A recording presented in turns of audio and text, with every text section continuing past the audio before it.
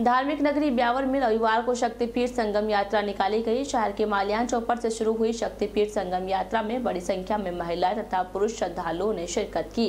गाजे बाजू तथा बैंड की मधुर धुनों के साथ शुरू हुई यात्रा का नेतृत्व अश्व सवार दो बालिकाएँ कर रही थी। माल्यान चौपर से शुरू हुई यात्रा सनातन स्कूल मार्ग, लौरान चौपट, पाली बाज़ार, एकता सर्किल, श्रद्धानंद बाज़ार तेजा चौक, सूरजपुल गेट से होते हुए सूरजपुल गेट स्थित काली माता मंदिर पहुँची। यात्रा का मार्ग में जगह जगह तोरण द्वार सजाकर विभिन्न संगठनों की ओर से पुष्प वर्षा कर स्वागत किया।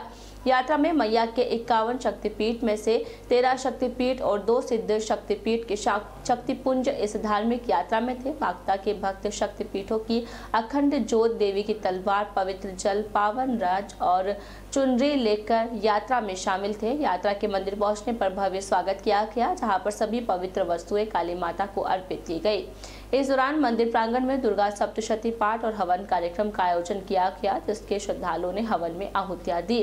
संगम यात्रा के दौरान अशोक शर्मा, अनिरुद्ध शर्मा भागचंद चौहान, सुमित सारस्वत, विजय अनुरोध तथा सुनील गर्ग सहित बड़ी संख्या में मातृशक्ति शामिल थे।